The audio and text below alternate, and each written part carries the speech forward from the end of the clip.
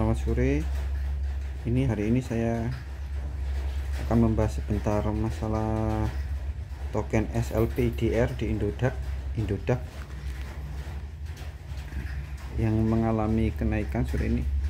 Perkiraan saya dia itu akan setelah saya buat ini ya sama perkiraan saya dia nanti akan turun di sekitar 259 ini waktunya beli 259 259 259 buy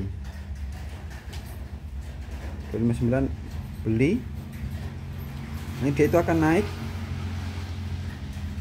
Naik ke sini. Terus ke sini. Ada kemungkinan ke sini. Cuman batasnya saya belum belum bikin ya.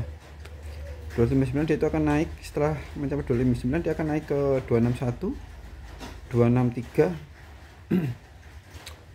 sampai mentok di 267 nanti kalau sudah perjalanan perjalanan oh ini ini, ini. oh ini bisa kita bikin. Uh, vertikal.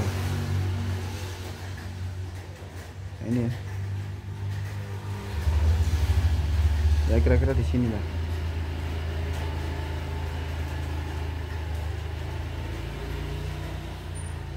dia itu mentok di 276 karena di 276 belinya sebaiknya di 259 ya saya ulangi.